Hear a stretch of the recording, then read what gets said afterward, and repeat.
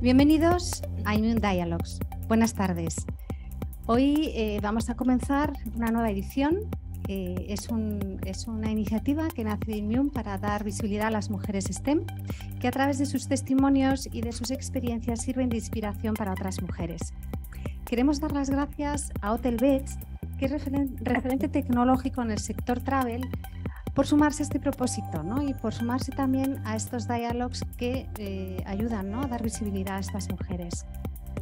Eh, hoy contamos con dos mujeres muy especiales que nos va a presentar y va a moderar eh, Samantha Chocrón, que es presentadora y moderadora. Os dejo con Samantha y nos presentará a las, a las invitadas de hoy. Muchas gracias.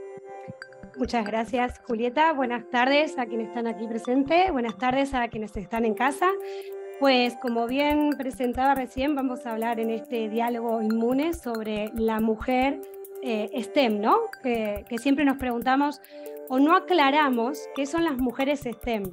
Perdón, qué son, qué es STEM, ¿no? Las carreras de tecnología, matemática, ciencia e ingeniería. Hoy vamos a entrar en detalle con dos expertas que me acompañan eh, en esta sala, en esta escuela de tecnología. Presento primero a Ana Isabel de Andrés García, que es Senior Product Manager en Hotel Beds. ¿Qué tal? Buenas tardes. Buenas tardes. Bienvenida. de estar aquí y bueno, poder colaborar dando mi experiencia y bueno, animando a, ese futuro de chicas a que se animen a, este tipo de carreras tecnológicas. Ese es el objetivo de, de esta charla que vamos a tener. También presento a Maribel Rodríguez, ella es fundadora de Directivas. ¿Qué tal? Buenas tardes y bienvenida. Buenas tardes, encantada. Gracias por la invitación. Un placer. ¿Y qué les parece si antes de entrar en el diálogo, para poder convencer a esas personas que todavía están dudando en meterse en alguna carrera STEM, pero sobre todo en las mujeres, porque tenemos datos, vamos a dar muchísimos datos y según Women in Tech en el año 2022 nos decían los estudios que solo una de cada cinco personas que trabajan en la industria de la tecnología hoy en día es mujer. Así que esperemos que después de esta charla entre amigas podamos convencer a, más mujeres a, meterse en carreras de, STEM. Ana, ¿te parece que empecemos contigo para que nos cuentes un poquito tu carrera profesional? Perfecto. Sí, venga. Vamos. A ver. Muy bien. Pues ah, mi nombre es Ana Isabel de Andrés García. Eh, soy licenciada en Ingeniería Informática por la Universidad de Oviedo. Como igual me notaréis, soy de Asturias, tengo todavía un poquito de acento, a pesar que bueno, los últimos años he estado viviendo en, la maravillosa isla de Mallorca.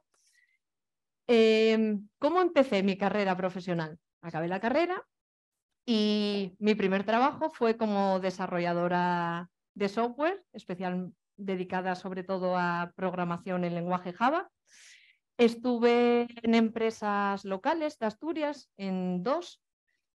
Luego, ¿qué me abrió? Eh, ¿Qué oportunidades me abrió eh, el trabajar en, eh, de desarrolladora? Pues ahí fue donde descubrí realmente lo que a mí me apasionaba, ¿no? Que era pues estar en contacto con los clientes, escuchar qué les pasaba. Y bueno, en los últimos, en los últimos meses eh, eh, que estuve en, esta, en este par de empresas asturianas, pues ya estuve más orientada al cliente, ¿no? tomando requisitos, cogiendo feedback de, ellos para mejorar un poco la manera en la que programábamos.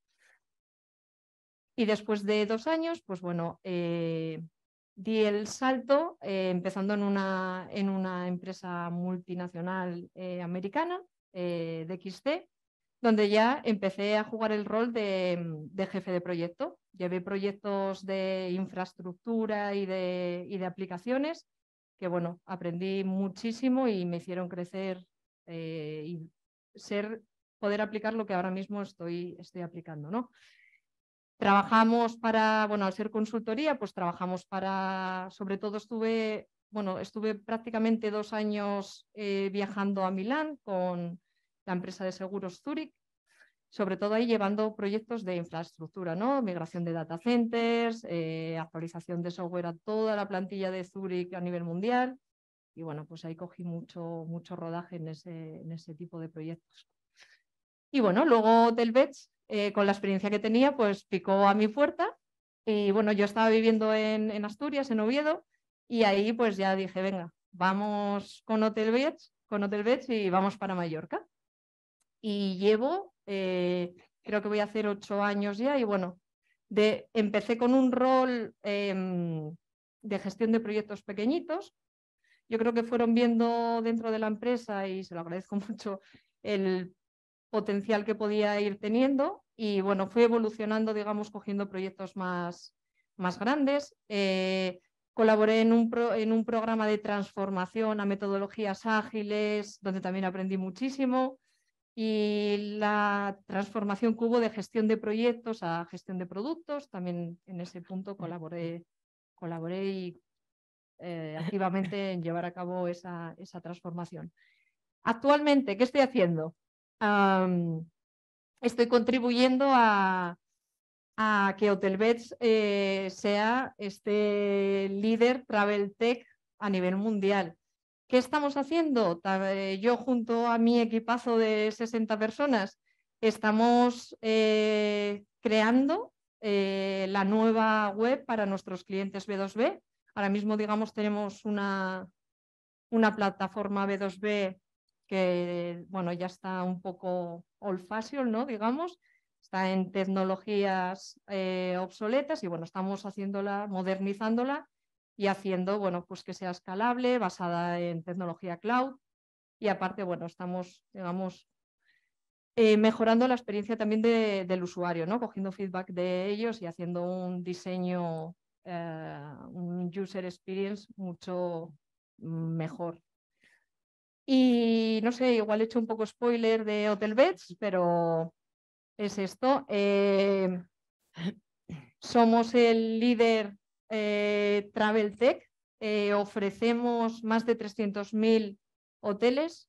Hotelbeds no solo ofrece hoteles, también ofrece actividades, transfer, la posibilidad de alquilar coches. Y hasta aquí puedo leer porque en el futuro pues tal vez ofrezca más. Eh, y bueno, yo como estoy más en el área tecnológica y lo vivo muy ¿no? de primera mano, pues que no está en esta, en esta slide reflejado, pero bueno, manejamos un volumen de peticiones por segundo que, digamos, pocas compañías yo creo que hoy en día los, los manejan. ¿no? Estamos recibiendo ahora mismo en nuestra plataforma tecnológica en torno a unas 70.000 eh, peticiones por segundo. ¿Qué es eso de 70.000 peticiones por segundo? Pues es Nuestros clientes, un Expedia, un Booking.com que está conectado con nosotros, nos está solicitando ¿no? disponibilidad de, hoteles. Pues imaginaros, ¿no? Que es un volumen muy, muy alto. Y bueno, eh, gestionar todo eso, pues requiere eh, que pongamos mucho foco en datos, en la gente y en tecnología. No sé qué te ha parecido. Pues muy bien, sobre todo me gusta esto, ¿no, Maribel? Que ponen mucho foco, énfasis en datos, en tecnología y en personas. Que es mi ámbito. exacto. Le damos paso entonces a, a la presentación de, de, tu currículum vitae, por favor. Bueno, eh, yo voy a ser muy breve porque no tengo la suerte o no tuve la suerte hace 25 años cuando me tocó elegir carrera de tener tanto conocimiento de lo que la tecnología podía aportar a mi carrera, pero quizá desde otro ámbito, el ámbito de las personas, pues he montado una consultora que está especializada en el ciclo completo de atracción, motivación e impulso del talento femenino a espacios directivos. Y creo que he sido invitada a esta, a esta maravillosa debate, ponencia eh, o charla entre amigas, como comentábamos, porque el 70% de mis clientes lo conforman empresas de tecnología y de energías renovables. Y curiosamente hay pocas chicas eh, aprovechando eh, un sector de esta empleabilidad y creo que cualquier plataforma que me dé la oportunidad de explicar que las chicas tenemos que estar en los sectores que hay empleabilidad para tener un desarrollo profesional elevado y por tanto, un desarrollo vital bastante completo. Eh, bueno, creo que mi currículum no, es tan importante, pero bueno, contar que estoy bastante comprometida. Eh, de hecho, soy jueza de Power to Code, niñas en tecnología, que desde, muy temprana edad pues, eh, compiten a nivel internacional en desarrollar aplicaciones metiendo código en la parte front que tengan además un vínculo de compromiso social y que supongan una mejora para la sociedad. Em, ¿Qué cosas se hacen desde mi empresa para conectar con la, con la tecnología? eh, pues el, como decías, el ciclo completo, y yo creo que luego eh, en el debate pues vamos a tratarlo. Al final hay compañías que tienen dificultad para captar tecnólogas y hay otras que las captan pero no las desarrollan. ¿no? Pues desde mi empresa se hace todo esto, identificar a las mejores eh, profesionales, ayudarlas a que pierdan el miedo a crecer eh, que liberen esos sesgos, ayudar también a nuestros compañeros varones a que entiendan que nosotros pues, o nosotras somos capaces de eh, proponer otro, otro punto de vista. Y mm, creo que lo que me hace interesante o a mi compañía respecto a de lo que estoy hablando, hablábamos de datos, de tecnología y de personas, yo, quien me conoce sabe que soy fan de los datos por encima de cualquier otra cosa.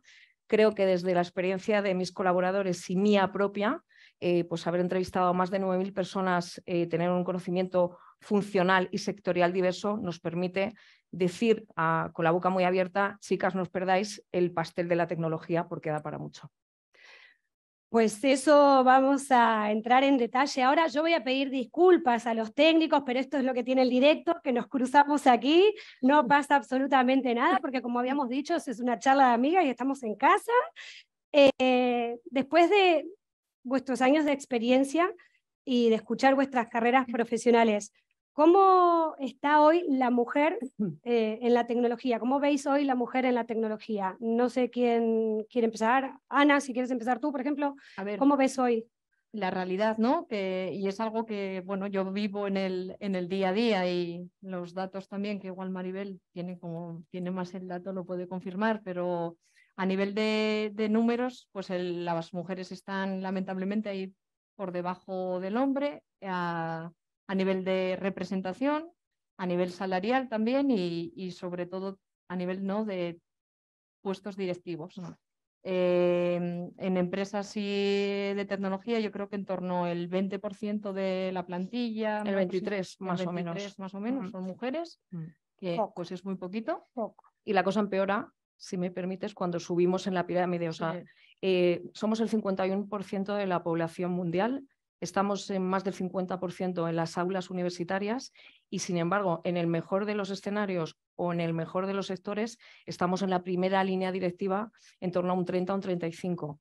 En el sector tecnología es demoledor porque estáis en torno al 10 o el 12 en mm, posiciones mm, directivas. Mm. En un sector que crea empleo a doble dígito y que, por ejemplo, el año pasado en la Unión Europea quedaron vacantes 500.000 puestos de tecnología y en España creo que fueron 120.000 aproximadamente. Pero todo esto puede tener su origen en, ¿no? en, las carreras universitarias, que el, volumen de mujeres... 15%, 10, en torno a un 15% de... En STEM. Incluso yo creo que los datos a nivel de, ¿no? en mi caso, de ingeniería informática, estaba en torno al 12% o algo así, es, que es es bajo, es bajo. ¿Tiene algo que ver lo que mencionabas antes en tu presentación, lo del miedo a crecer? Sí. Que justamente los datos que das estadísticamente que en, carreras profesionales, en directivos, el número en sector tecnología es muy bajo. Muy bajo. ¿Tiene que ver eso? Tiene que ver en parte y también que históricamente las mujeres hemos desempeñado en las compañías un rol cuidador. Hay muchas directoras financieras, hay muchas directoras de recursos humanos que son áreas de soporte al negocio. Sin embargo, en el core business, que hablabas de retribución y de gap em, em, salarial, el core business nunca está en las áreas de soporte. Entonces, tenemos que estar también en, áreas front, eh, directoras comerciales, CISOs, CIOs, porque ahí es donde está la oportunidad de, de crecer. ¿no? Mm. Y tiene que ver con ese rol muy con que se nos asocia con un perfil cuidador también en las organizaciones. Eh, antes de continuar, voy a hacer un inciso porque me, lo había olvidado y es súper importante. Quienes estáis aquí presencialmente o quienes estáis en casa, si tenéis alguna duda durante toda esta charla, por favor, anotarla porque al final vamos a hacer una ronda de preguntas para que podáis eh, preguntar. Tengo una ahora mismo, ¿sí? ¿Tenemos un micrófono? pues he dicho al final, pero también improvisamos. Es lo que tiene el directo, la vamos a hacer ahora. Gracias. Eh, buenas tardes, yo soy Macarena Juan de, de Hotel Beds, eh, académicas y eh, me está encantando el debate, eh, sobre todo los datos. tenemos que luchar por, por mejorarlos, pero sí que precisamente en Hotel Beds la directora de Delivery y la CTO es una mujer.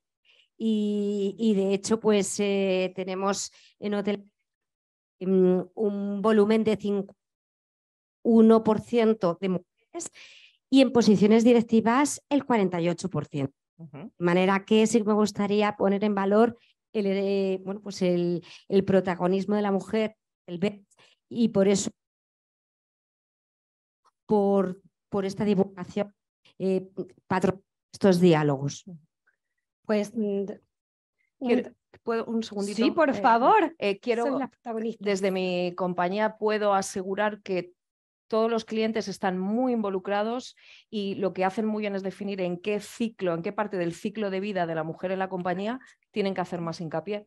Y bueno, pues es, difícil cuando no hay talento STEM, cuando dicen búscame una CTO, una CISO, pues, pues no hay, pero a lo mejor poco a poco, y ya hablaremos luego de las acciones y de lo que están haciendo los gobiernos, los legisladores, las empresas y las propias mujeres, pues se puede contribuir. Entraremos en, detalle en eso más adelante, pero justamente hablando de esta brecha de género en las carreras científicas y tecnológicas, Ana, ¿crees que hay alguna relación científica eh, entre el cerebro de la mujer y del hombre?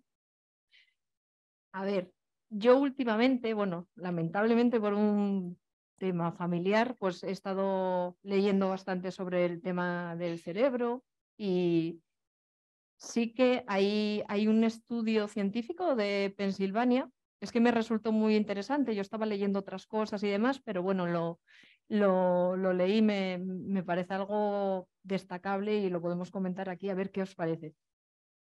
Pues este estudio de Pensilvania, eh, bueno, es como, hace un análisis de, no sé, 2013. Mm, eh, sí, es del 2013 aproximadamente, pero coge un volumen de personas eh, simbólico. ¿Y qué determina este, este mm, estudio científico? Que el cerebro de una mujer es distinto que, que el cerebro de un hombre tenemos, todos tenemos un hemisferio derecho y un hemisferio izquierdo, ¿no? El hemisferio derecho es más el, ¿no? el, el, de la integración, el de las emociones, el de la memoria, y el hemisferio izquierdo pues es el analítico, ¿no? Pues en este, en este, en este estudio se confirmó, ¿no? Hicieron eh, bueno, a través de distintas resonancias y demás, cómo está más fomentado las conexiones neuronales del hombre, está dentro de los propios hemisferios, ¿no? Es decir, un hombre le das una tarea, ¿no? Y pone su foco y a por ello. Pero ¿qué demostró este estudio? Que las mujeres tenían más conexiones neuronales entre el hemisferio derecho y el hemisferio izquierdo. ¿Qué significa esto? lo que muchas veces, no sé si vosotras lo veis, que están ¿no? De un lado para otro, como un, cerebro ahí. Hacemos muchas cosas a la vez. Sí, más multitarea, podemos abordar distintas cosas a la vez, podemos ¿no? hablar y escribir un WhatsApp. Eh, y todo esto, pues bueno, se traduce en que a la hora ¿no? de gestionar, en mi caso, pues igual proyectos tecnológicos y demás, te puedas, puedas llevar a cabo sin sin colapsar, aunque yo hay veces que colapso también, pero bueno, muchas, muchas tareas. Y un ejemplo también, que yo creo que al hilo de esto estuve ahí un poco también eh, investigando y demás, que es un poco la evidencia ¿no? de que el hombre se focaliza, el cerebro de un hombre se focaliza más en, digamos, en puntos y el de una mujer es como que los une, ¿no? Por esta conexión que tiene entre, entre el hemisferio eh, derecho y el izquierdo. Hay un caso que no sé si no sé si habéis visto La Noche Más Oscura, que es el, ¿no? Es, relata un poco, es una película que relata un poco cómo encontraron a Bin Laden. No sé si algo has oído. Eh, ¿Qué pasa? Cuando el ataque a las Torres Gemelas, eh, la CIA montó un equipo ahí de investigación ¿no? para, bueno, para capturar a, a Bin Laden. Y este equipo pues estaba formado por, por hombres tardaron mucho en, encontrar a Bin Laden, ¿no? No sé si fueron unos 10 años o, incluso más. ¿Qué pasa? Estaban llevando a cabo investigaciones, recogían muchos datos, pero no llegaban a dar con dónde estaba. Pues al, final hubo una, una, una chica que se interesó en formar parte de, este equipo de investigación que bueno, le costó un poquillo entrar en el, en el, equipo porque bueno, ya llevaban mucho tiempo trabajando juntos y demás, y yo creo, bueno, por temas igual de confidencialidad o lo que fuera, pues no le, costó entrar dentro de, de, ese equipo, ¿no? Pues al entrar, claro, obviamente le dieron, ¿no? Le hicieron un análisis de todos los datos que habían recogido, todo lo que habían estado investigando durante esos años. Y la mujer, no es que la mujer encontró, pero la mujer ayudó a, eh, desde ese momento que formó parte de, ese equipo, a contribuir en encontrar en Pakistán. El punto de donde estaba. Por eso, o sea, lo que las conexiones que hablabas antes, ¿no? Sí. Que el hombre va a un punto y las mujeres hacemos esas conexiones. Eso es. Que no estamos eh, haciendo diferencia ni diciendo quiénes son mejores y peores, sino hablando, claro, que somos distintos y cómo influye en, en, el sector de la tecnología. Totalmente. Y qué aporta entonces la mujer en el sector de la tecnología si sabemos que somos distintos. Yo un poco hilando con lo que ha dicho ella, eh, no, no puedo entrar científicamente a demostrar esto y es un debate a veces complicado. Yo puedo aportar mi experiencia habiendo entrevistado casi a 9.000 personas lo cual indica lo mayor que soy. Eh, en 25 años de, distintos sectores y funciones, pero más o menos el 35% son mujeres. ¿no? Me han preguntado muchas veces si el estilo de liderazgo femenino, igual que el de, las desarrolladoras o del área tecnológica, es diferente al masculino. Es difícil concluir, pero yo sí puedo decir que hay algunos ah, tipos de, de, skills o de competencias que son más habitualmente encontrables en mujeres y otras en hombres. Las mujeres son más organizadas, eh, trabajan mejor en equipo, eh, son muy em, colaborativas, suelen ser más empáticas. Porque unen. Claro, quizá por esa conexión, lo estaba pensando, ¿no? De esta, de esta conexión. Mm. Sin embargo, suelen tener una necesidad, una versión al riesgo ah, muy complicada yo voy a contar algo, Ana, que igual me vas a matar. Eh, Ana, estabas muy nerviosa, esto con otro compañero no me hubiera pasado. Sin embargo, tú que te lo has estudiado, que no lo hemos preparado, esto es muy mujer. ¿no? Y esto yo me lo encuentro, muchas de las directivas con las que trabajo, eh, la única enemiga que pueden tener es ella misma en el sentido de la autoexigencia. No sé si en las desarrolladoras o en el área, en el sector tecnología, asienten por ahí, eh, ocurre, pero mi experiencia evaluando es que estas son las competencias en positivo y en negativo. Una fondo, en una inversora, en un fondo de inversión, la mujer probablemente te va a gestionar, hay, estudios con una rentabilidad superior al hombre, porque están, necesitan estar muy seguras antes de tomar decisiones o de ejecutar. Esto es un pro y es un contra. Claro. No es solo un mm. pro, porque a veces nos perdemos oportunidades por ese auto boicot. Mm. Claro, o sea, al final eh, el objetivo de, esta, de este diálogo es motivar a las mujeres a que quiten ese miedo y se lancen a las carreras STEM. Ese es el punto, no estamos ni en contra ni a favor de nada. Vamos a remarcarlo para que nos quede súper bien clarito. Eh, para ti, Ana, ¿qué aporta la mujer en, la tecnología? A ver, ¿qué aporta? Yo es lo que comentaba. Sí, o sea, yo no veo a mi compañero si es un hombre o una mujer, pero lo que sí que realmente creo necesario 100% es, ¿no? La sociedad mm. somos 50-50, 50%, hombres, 50% mujeres, mm. pues que a nivel ¿no? de plantilla de empresa deberíamos de tener esta misma representación. Mm. ¿Por qué? Porque en la diversidad de, ¿no? de ese equipo de trabajo está sin duda el éxito de, mm. cualquier reto tecnológico que, mm. tengamos por delante. Mm. Y entonces, ¿por qué las mujeres no optan por, por estudiar carreras STEM? A ver, yo te puedo contar un poco la, no sé, la experiencia cuando yo me enfrenté, las, las, las barreras que yo vi cuando me, no, me iba a matricular de ingeniería informática. Sí. Ah, o sea, antes que lo comentabas tú, ¿no? Estaba súper nerviosa. ¿Por qué?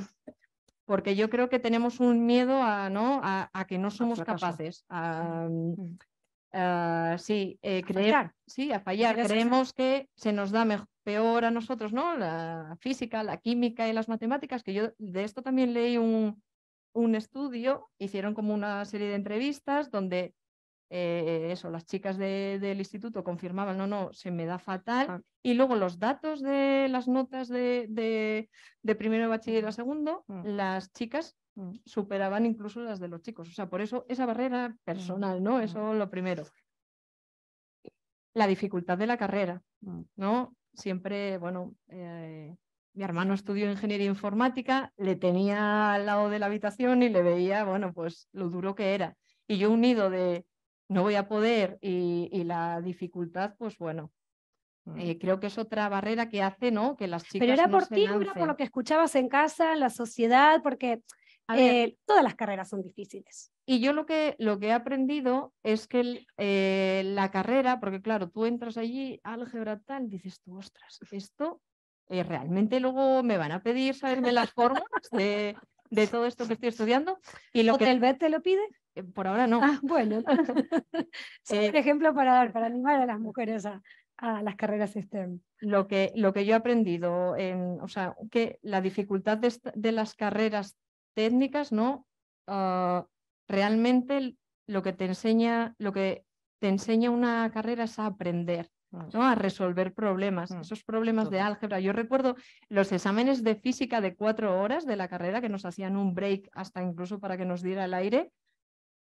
Todo, todos esos, es, eh, enfrentarte a esos problemas realmente te hace que luego puedas enfrentarte pues, a retos tecnológicos y lo puedas, ¿no? Eh, puedas dar Mm. soluciones, no de fórmulas ni de resultados, pero es como te prepara, ¿no? Mm. Y luego, bueno, desconocimiento de salida profesional. eh, es otra barrera que se, Mm. puede, que se pueden encontrar las, ¿no? las chicas que Mm. quieran estudiar una carrera STEM. No hay muchas referentes, o sea, no hay afortunadamente. Ahora hay grandes directoras, CEOs en el IBEX 35, pero hay muy pocas referentes. Mm. Entonces, eh, bueno, pues hay algunas asociaciones, Inspira STEM, Women Tech Network, Adalab. O sea, al final ya se están haciendo acciones tanto de estimulación temprana como las acciones que acometen las compañías para las que cuentan con directivas para ayudarles a captar o desarrollar ese talento. Mm. Eh, pero, por ejemplo, las acciones de estimulación temprana, vamos a ver el resultado dentro de unos años. Es decir, que las niñas entiendan que en tecnología hay más potencial de crecimiento porque es un nicho de empleabilidad.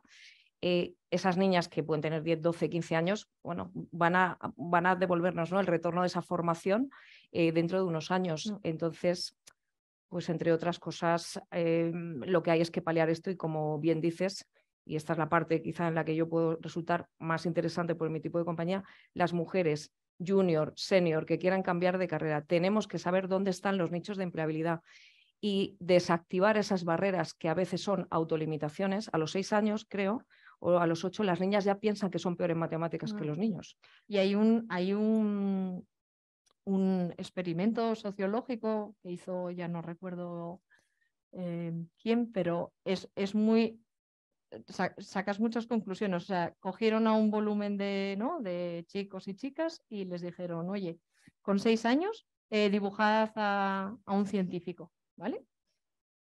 Eh, el 70% de las niñas sobre las que se hizo ese experimento dibujaron a una chica científica, el 70%. Repitieron el experimento con 16 años y el porcentaje descen- descendió a un 20%.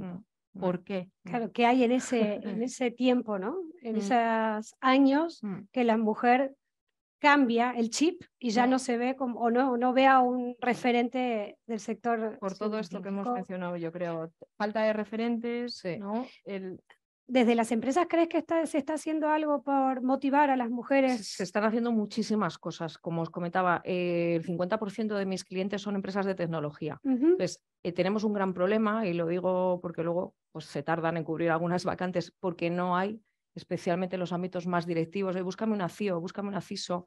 Eh, bueno, pues a veces tienes que decirle al cliente que tiene que tener una mentalidad flexible porque si el conocimiento no está, no nos lo vamos a inventar y aprovecho para decir que nadie renuncia al talento. O sea, puede... no ha habido todavía una empresa que me diga necesito por un tema de diversidad o de igualdad o de cumplimiento de, de sostenibilidad de principios ESG eh, meter una directiva que no tenga talento, con lo cual la cosa se complica mucho más. Pero las compañías buscan soluciones, es decir, las sacan de otros sectores análogos, las forman. Eh, nosotros, por ejemplo, hacemos eh, en, en alguna empresa de tecnología, creo que alguna clienta me estaba viendo, talleres de desactivación de autolimitaciones con experimentos que son espectaculares. O sea, yo puedo contar que una CIO una vez en una acción de estas, cuando le decías qué es lo que más le preocupaba, decía que era eh, ocuparse de su hijo. Entonces yo le dije, pero estás soltera, viuda, no, mi marido es que es un inútil. Y yo decía, pero bueno, es que esto no puede ser.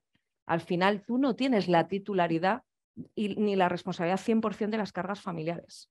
Es una corresponsabilidad. Entonces, con todas estas cosas, al final, los legisladores, los gobiernos, las empresas y nosotras mismas tenemos que ir desactivando. Primero, la sociedad tiene que ser una sociedad igualitaria en responsabilidades, funciones y derechos a disfrute y a ganar dinero y estar en, eh, en una posición de crecimiento profesional.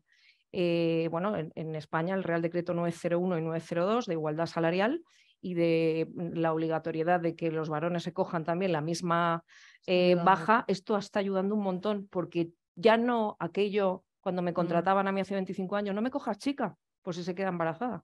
Ya. Entonces, Sigue todo esto, pero se está reduciendo. Mm, yo he de decir que ya al contrario, o sea, eh, en el sector tecnológico, cualquier chica que tengas disponible la colocas en las empresas rápidamente. Ya, porque faltan. Porque faltan y son y con talento. Quiero remarcar ante la duda de, bueno, ahora como está de moda, pues ninguna empresa todavía me ha pedido incorporar una directiva mm, que no tenga talento. Otra cosa es mm. que no encontremos tantas porque eh, el caladero, ¿no? Mm. la masa crítica de candidatas, pues no está muy desarrollada.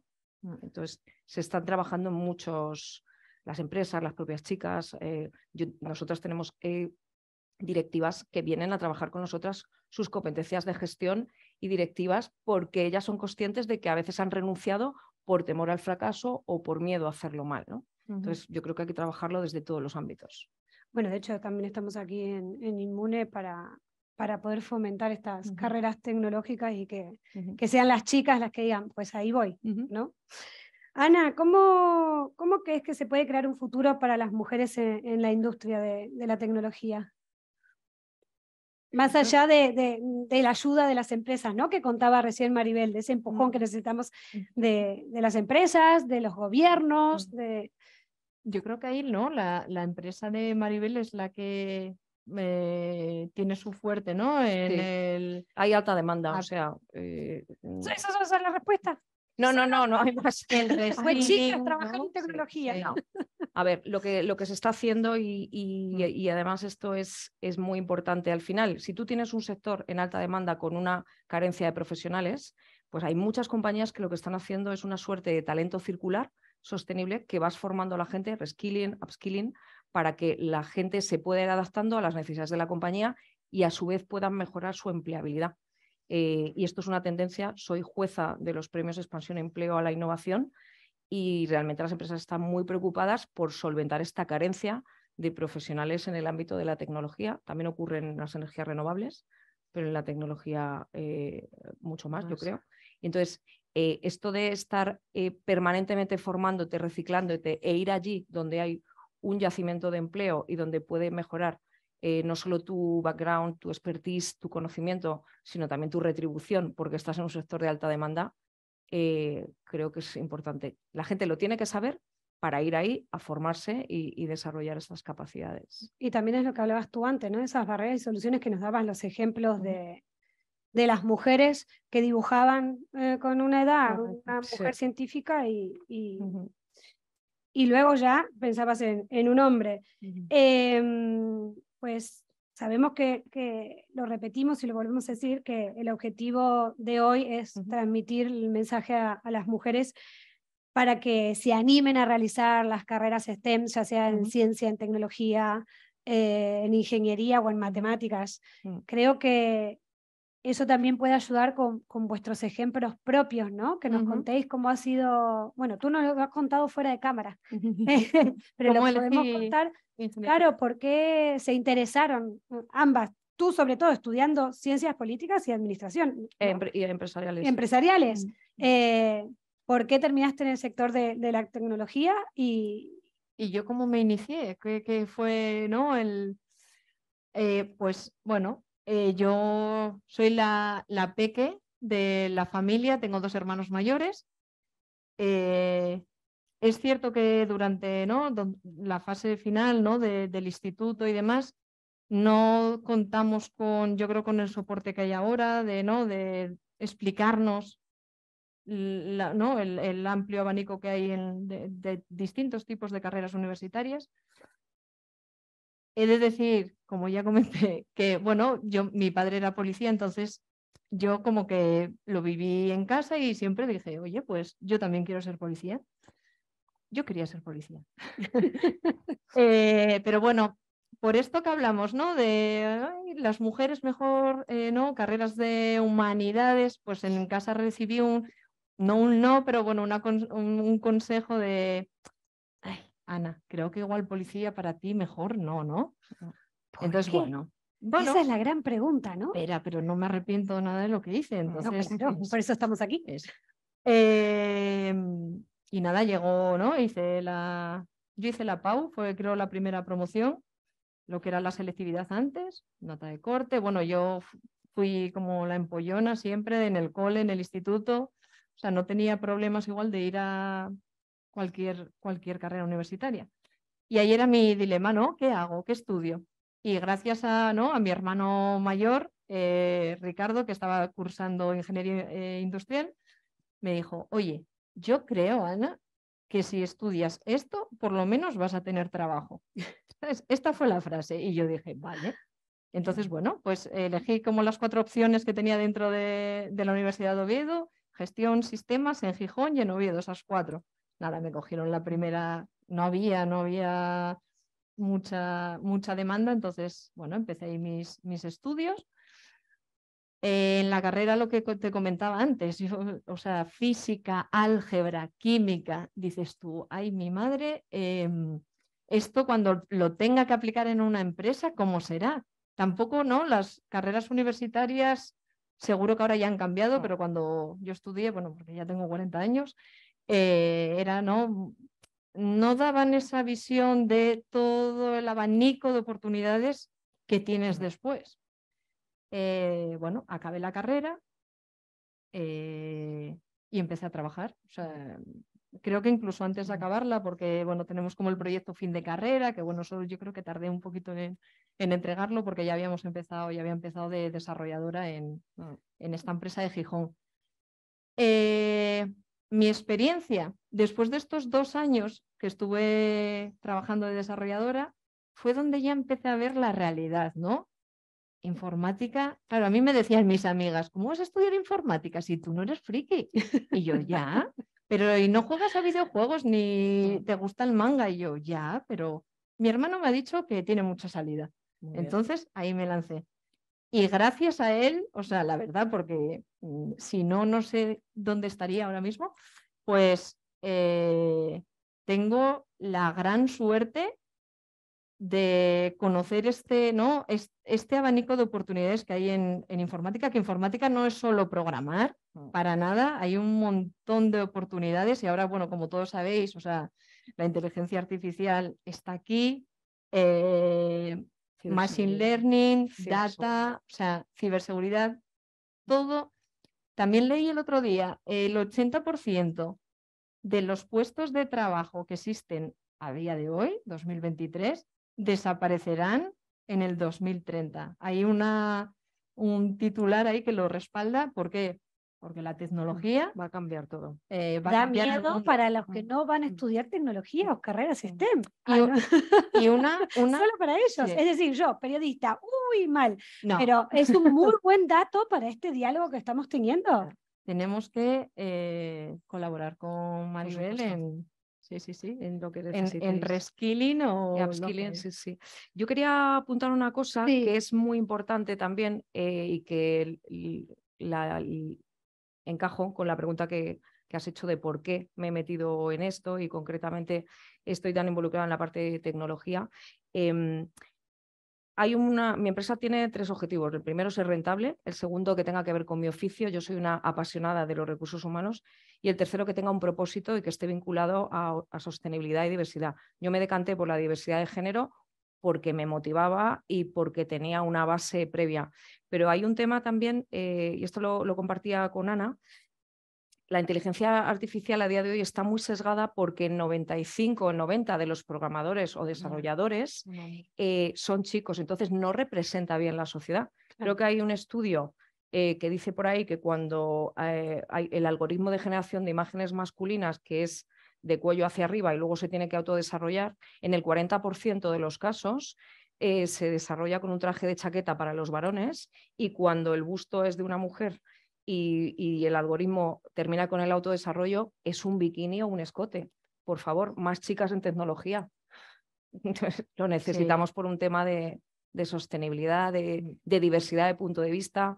Las compañías más diversas facturan entre un 5 y un 15% más, según muchos estudios. Entonces, es que son muchas cosas. Es que son los datos, es que es un compromiso. La sostenibilidad cada vez es el driver y uno de los mantras más importantes de las organizaciones. Eh, los inversores invierten en empresas sostenibles, la gente compramos en empresas sostenibles y diversas y los empleados quieren estar orgullosos de sus compañías. Entonces, hay tantos motivos por los que, por los que eh, manifestar y producirse en un entorno diverso que lo que no es motivos en contra, ¿no? Por decir de alguna manera. Ya, quizás lo que está faltando es información, como hablaba antes Ana, ¿no? no yo tampoco puedo hablar actualmente, pero eh, tengo tu edad y cuando hice la carrera, eh, no se me cruzó la idea de decir voy a estudiar algo relacionado a mm. ingeniería porque justamente decía, ¿qué voy a hacer con las matemáticas? Toda la vida en el, instituto me llevé matemáticas, ¿qué voy a hacer? Claro, mm. quiero que no hay tanta información de decir, no, no, vale, mm. esto lo necesitas como base, pero el día de mañana no vas a estar trabajando haciendo cálculos, ¿no? O sea, creo que es fundamental la, difusión de, la información, de la cantidad de, carreras o la cantidad de trabajos que puedes tener con las carreras STEM, ¿no? Porque hablabais antes de ciberseguridad. Eh, data, data, o sea, inteligencia artificial, o sea, hay mucho, no es solo programadores, uno piensa que es tecnología, programadores. DevOps, los DevOps están demandados. Claro, exacto, creo que... Ingeniero de sistemas. Mm. Eso es lo que escuchábamos cuando éramos más pequeñas, ¿no? Ingeniería de sistemas, ya es el informático. No, no, no. Hoy en día, justamente con esto, este estudio que leíste hace poco, esta noticia que, que dice que de acá al 2030 se van a reducir muchísimas profesiones, pero el, las STEM, digamos, sobre todo tecnología, van a crecer, ¿no? Creo que nos hace falta más información, quitarnos los miedos eh, y que empresas como, como Directivas nos, nos ayude a, a las que todavía no estamos convencidas, que yo me lo estoy planteando. ¿eh? Yo, yo, me estoy planteando dejar la profesión o no, o especializarme siendo periodista eh, especializada en tecnología. Me lo estoy planteando porque creo que hay mucho futuro. Podrías, ¿eh? O sea, mira, siempre me viene, me viene a la mente eh, un comentario que me hicieron. Yo, bueno, trabajé en, en, hostelería, yo creo como mucha gente, ¿no? Mientras, mientras hacíamos, mientras acababa la carrera. Y me acuerdo una vez que, bueno, era un directivo de, de allí, de ArcelorMittal de, de Asturias, y me dijo, él no sabía que yo era informática o estaba acabando la carrera. Dice, es que la gente que no, que es buena en algo, al final es buena en cualquier cosa que se, que se proponga. Y él, bueno. Claro, hay que proponérselo, seguro. hay que proponérselo. ¿Tú ibas a, comentar algo antes de.? No, no, yo iba a decir que en realidad eh, yo no soy STEM eh, mm, por... Yo tampoco, pero estoy pensando pero bueno, pensarlo, ¿eh? he de decir que monté la web de mi propia compañía porque dice, tengo el reto, siempre he dicho que soy muy mala, mi mejor amiga es informática, tenía una ayuda extra, entonces... Em, ¿Pero qué viste? ¿Qué, qué vi? En... ¿Qué, o sea, ¿qué fue lo que te hizo crear directivas? Vale, directivas lo creó una frustración. Es decir, a mí muchas veces me han dicho, y es un sesgo de género, yo que imparto tantas charlas y tantos talleres, es que esto lo hacen mal. Y probablemente es verdad, digo, ya, pero nadie me dice cómo hacerlo mejor. mejor. Digo, me encantaría ayudar a la gente a que mejorara sus skills para no perderse ninguna oportunidad en sus trayectorias profesionales. Y luego también eh, que yo iba a visitar a mis clientas, como a Macarena en su momento, y me decía, que sea chica. Y yo decía, pero si no hay chicas. Entonces digo, todo el mundo habla de, asociaciones, de, es decir, de lobbies para sensibilizar, que está muy bien. Y yo allá por el año 2016, que ya sabía que donde estaba me tenía que ir de aquella empresa, empecé a montar mi compañía y no se pudo fraguar hasta el 2019. O sea que había todo un business plan detrás de esto tiene sentido, no tiene sentido, hice mis números y con tan buena suerte que la monto en el 2019, en el 2020 viene la pandemia. ya. Bueno, pero como somos resilientes, eh, pues para adelante y, muy bien. Y tengo que decir con orgullo que trabajamos con muy grandes empresas, también con startups, y que hay un compromiso en general por todas las acciones de diversidad y sostenibilidad y en particular eh, por, por, fomentar el, tema de género. Y trabajo en tecnología porque es donde más, demanda hay. Lo digo con cariño, igual no me volvéis a invitar, no tengo una especial motivación por el sector, pero creo que no puedo renunciar, yo soy una persona muy práctica, no puedo renunciar a un sector que es el que más empleabilidad y no puedo dejar de asesorar a mis directivas o junior, trabajo menos con perfiles junior, de métete en tecnología porque... Bueno, pero no está mal tu comentario, porque hay gente que tiene la pasión por la tecnología y otras otros jóvenes que dicen, pues quiero estudiar una carrera que mm, al trabajar me deje dinero. O sea que no está mal, está muy bien también. Pues que, la tecnología, ya está. Y, hay dinero, en el sector hay dinero. Y cada vez más, porque es lo que decimos, las, profesiones van a ir a tecnología 100%.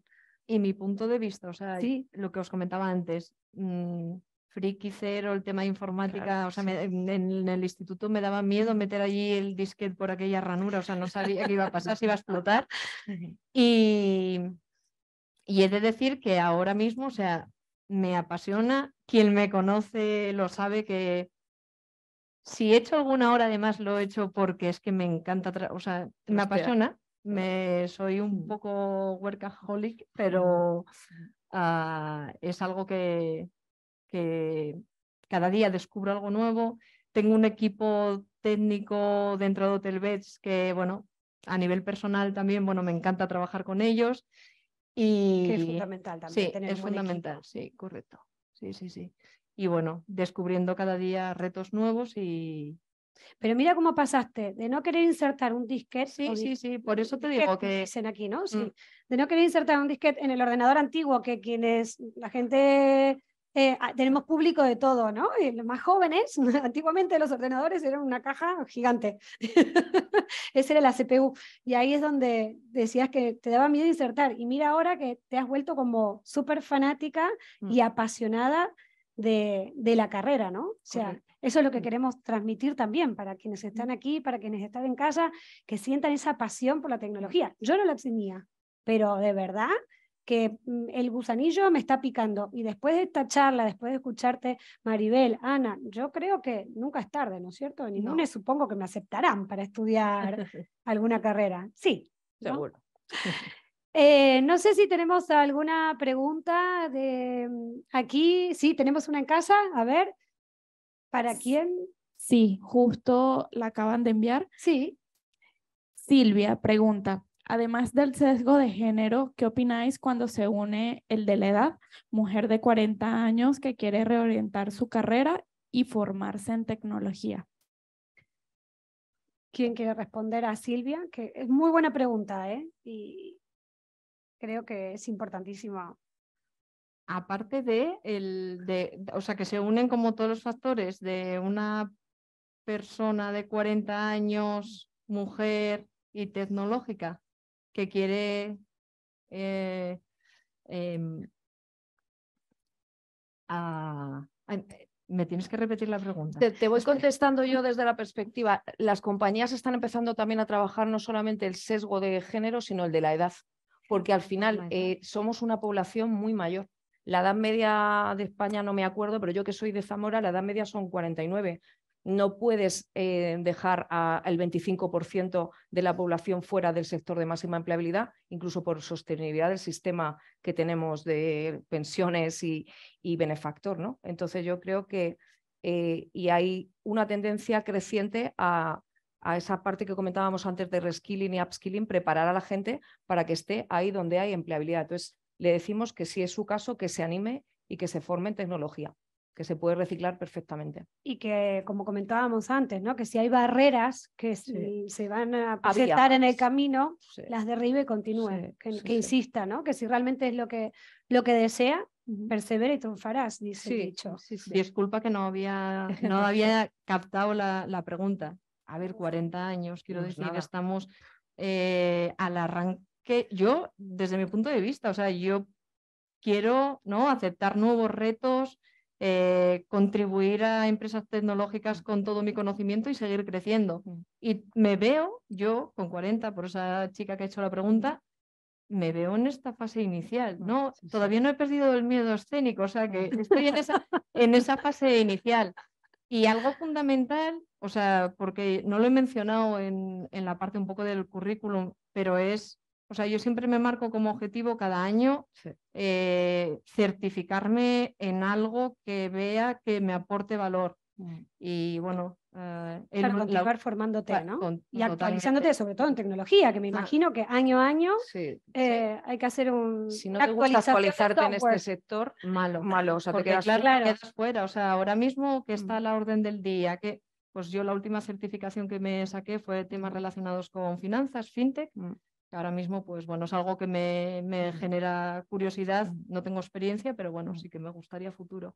Entonces, vamos, estás en la flor de la vida, Silvia. Yo creo que también esta pregunta lo han hecho porque en otros sectores es cierto que todavía estamos con una mentalidad un poco más antigua. Mm, en el mundo de la tecnología...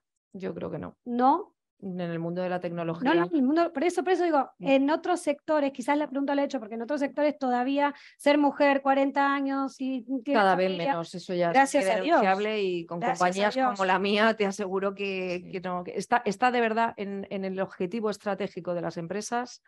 Eh, sabéis que se está trabajando en ambas cosas, el LGTBIQ, o sea, todo lo que suponga eh, acciones de diversidad global en grandes compañías, en compañías más pequeñas, startuperas. Las grandes compañías, el IBEX 35 tiene un efecto arrastre para las demás. O sea, eh, y bueno, hay compañías que tienen una, una motivación extra, o sea, por, por hacer de esto su, su driver, ¿no? El ADN de, sus valores culturales y, mm. y como empresa. Entonces, bueno, pero estadísticamente todavía sigue siendo un número bajo. Entonces vamos a seguir trabajando para que ese número sea igual a igual o, superior, ¿no? Sí, a mí me tiene que durar la empresa.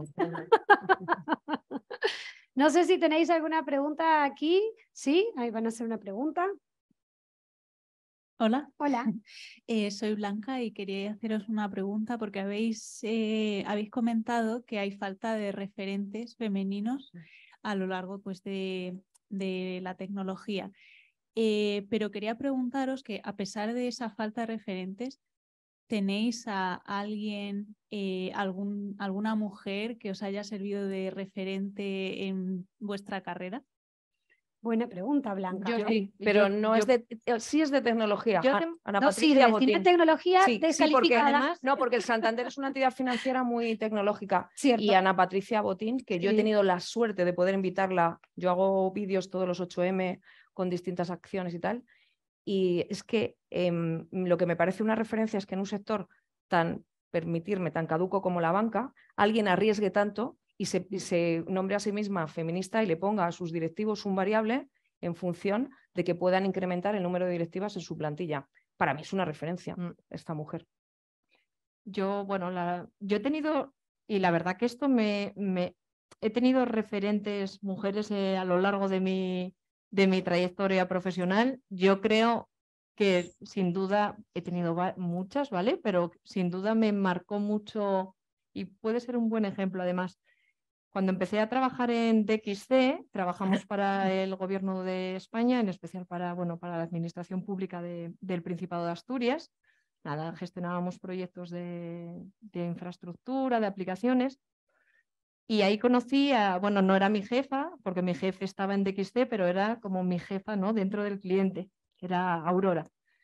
Eh, para mí, o sea, fue un referente y sí, y creo que la manera de trabajar incluso que tengo es gracias a ella. ¿Qué, qué, por qué me llamó la atención a mí Aurora? Aurora fue la única ingeniera industrial superior de su orla de estudió eh, en Gijón y era la única mujer. Es que yo vi su orla cuando fui a buscar la mía, porque tardé en ir un montón a la universidad por ella. Mi madre ya no se creía que había acabado la carrera, te voy a traer la orla. Eh, y vi, vi allí la, ¿no? la, la orla de Aurora y era ingeniero industrial y estaba de ingeniera. ingeniera industrial y era la directora del departamento de informática del Principado de Asturias. Gestionaba alrededor de mm, casi mil aplicaciones de software, llevando temas tan críticos como puede ser ¿no? las, relacionadas con sanidad, ¿no? Todas las aplicaciones que gestionan todo tipo de maquinaria para intervenciones. Y bueno, tenía un equipo, le podían reportar cerca de 100 personas bien a gusto. ¿Y por qué me llamó la atención? Porque dices, no tiene background informático, pero aplicó sus conocimientos, ¿no? Yo es lo que siempre, la conclusión que he sacado de la carrera, ¿no? Que todo lo que te enseñan ¿no? con física, álgebra, cálculo, texto tan duro, ¿no? La resolución de problemas y demás, pues ella aplicó eso en, en el campo, en un campo nuevo para ella. Qué bueno. Y a mí sí que, bueno, ella lo, lo sabe y fue, yo creo, una de mis primeras referentes y que es cierto que no, muy cercana porque fue con quien estuve trabajando dos o tres años. Y bueno, y de ahí pues muchas más, pero lo, el caso de, de, ella, pues bueno, pues es ¿no? Una, la, ¿no? la ingeniera industrial dentro de toda esa orla que eran en torno, no sé, 200 personas. Una sola mujer. Qué mm. importante es tener un referente, qué importante es tener el apoyo familiar, mm. porque muchas veces si estamos en duda y en casa nos dicen, no, eso es para chicos, no, no. Mm. es súper importante y muy buena pregunta porque la verdad es que hay que tener en cualquier carrera que uno estudie un referente eh, para, para, animarse a, estudiar y dar el salto a eso que tanta duda nos genera. Eh, creo que tenemos otra pregunta, ¿no? ¿No? ¿Vosotras? Sí, ahí, claro que sí. Espera que te acerquen el micrófono, si puede ser. Así desde casa eh, también pueden escuchar tu, tu, consulta. Bueno, muchas gracias. yo soy docente eh, tengo la facilidad de enseñar aquí en España. Y mi experiencia desde este punto de vista, pues les puedo decir que cuando llegan los chicos o cuando llega el grupo y ven que es una mujer quien les va a enseñar esa parte de seguridad informática, de tecnología de datos, como que, mmm, como que es una mujer y llegan hombres y he tenido pues la oportunidad que son hombres, eh, personas grandes, como que, mmm, vamos a ver hasta dónde. Con sorpresa, siento que al finalizar los cursos ellos se llevan como una gran sorpresa porque siento que de pronto aprenden más que con un hombre. Tal vez uno tiene como esa don de madre de pronto de darles un poquito más, dedicarles más tiempo, entonces siento que esa labor docente eh, desde el STEM se está dando. Y es más sorprendente también cuando hay chicas que llegan y no tienen como que, es que mm, yo como que lo dudo todavía. Pero al finalizar los cursos, que son cursos cortos, también les digo como miren hasta dónde llegaron y lo, lo que pueden llegar a hacer. Entonces también siento que hay que animarlas, eh, que las mujeres también estamos al mismo eh, nivel de un hombre, desde la parte de educación que de pronto nosotros damos un poquito más con cada uno eh, de, o con, con esta labor tan bonita como es enseñar. Entonces, la invitación es a que sigan, que sí podemos y que, bueno, hay muchas cosas por hacer y por mejorar desde la parte de la mujer, de empoderar a la mujer, eh, pues en este tema. Muchísimas gracias. Muchas gracias. Qué, importante también eso, ¿no? Que no prejuzguen por ver una, una profesora entrar al aula. Em, ¿Tenemos alguna duda, consulta más online o aquí? Online nada. ¿Y aquí presencial? Ay, hay alguien que está ahí con un poco de vergüenza, pero no. Chicas, eh, la verdad es que a mí este diálogo me ha ayudado mucho a entender más las carreras STEM, como, como empezamos al principio mencionando lo que eran, porque quienes están ahí a punto de dar el paso de estudiarla eh, saben lo que es STEM, pero hablábamos antes fuera del evento y decíamos, no todos saben lo que nos referimos a, carreras STEM. A mí me ha picado. Eh, ¿Ha picado sí, Sí, de verdad, de verdad. Pero porque estoy reabierta a reinventarme y, y, sobre todo si hay futuro, ¿no? Porque hay veces que hay mm. carreras como el periodismo que está estancado y ahora con mm. la inteligencia artificial aún más. Mm. No es por eh, culpar nada, sino porque, bueno, los medios de comunicación cada vez están más empobrecidos, entonces tienen menos eh, equipo y entonces hay que hacer más cosas con menos gente y se tira de las herramientas tecnológicas. Es así, es la pues, realidad. yo hay te que animo, Sí, yo te animo, o sea, estamos a tiempo, quiero decir, eh, la, ¿no? la vida profesional es muy, larga. es muy larga. Es muy larga. Exacto, eso es lo que también hay que recalcar hoy, ¿no? Mm. Que sobre todo en este sector es larga la carrera, la mm. vida profesional que, hay que dar el paso, que hay que animarse mm. y hay que cambiar las estadísticas, porque la idea de este diálogo también era mm. dar información, motivar a mujeres y tratar de poder cambiar eh, los datos estadísticos que todavía siguen siendo bajos, aunque es cierto que Maribel es muy positiva, Siempre. y, y, lógicamente, ¿no? Para que siga sobreviviendo directivas. Yo, Samantha, agradecerte, vamos, que contaseis con, conmigo en esta charla. Eh, para la gente que igual que veo por ahí caras así que quieren lanzar preguntas, tenéis mi contacto de LinkedIn, me podéis escribir y sé, pues así un poco más en petit comité, dudas que, os surjan o, o cualquier duda que tengáis. Y bueno, un placer haber estado aquí. Y bueno, mi objetivo es si, ¿no? fomentar eh, eh, este tipo de carreras y bueno, dar igual una, una, un punto de vista desde la experiencia y contar ¿no? todos los casos de éxito y todo el desarrollo y la, ¿no? el abanico de oportunidades que hay dentro de, de cualquier empresa de tecnología. Y yo contar el punto de vista de la empleabilidad. Es decir, la gente tiene que conocer que este es un sector con un gran presente y un enorme futuro y que no perdérselo, o sea, es no perdérselo es inteligente. Habrá otro tipo de motivaciones, otro tipo de carreras, por supuesto, pero em, entender que hay sectores con mucha empleabilidad y que la carrera profesional puede ser muy elevada y por lo tanto tu, tu situación vital puede mejorar con una trayectoria coherente ascendente, por ejemplo, no hay mucha brecha salarial en el sector, porque no hay muchas ingenieras y se han incorporado, o sea, la brecha salarial ajustada es de otros sectores y de gente que lleva más años, y mm. aquí, por ejemplo, hay una igualdad prácticamente, creo que puede haber un 4%, si no recuerdo mal, ah. en brecha en el sector tecnología. Entonces, pues todo anima. Todo positivo. Todo anima. Todo anima.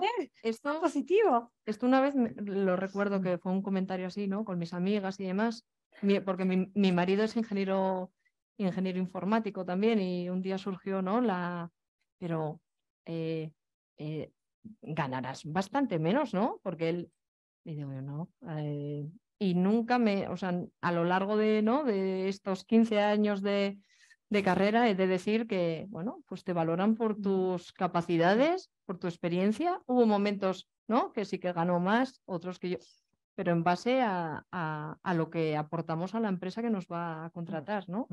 Mm. O sea que en tecnología la brecha no es salarial, es solo brecha es de género, es de género, que es la más importante. Yo creo que al final es contra la que hay que luchar porque ganas más dinero cuando estás mejor posicionado. Claro. Eh, entonces, mm, estar en los sectores y en las funciones relevantes de toma de decisiones es muy importante. Siempre va a ganar más un director comercial o casi siempre que una directora de recursos humanos. Entonces, uno elige. ¿no?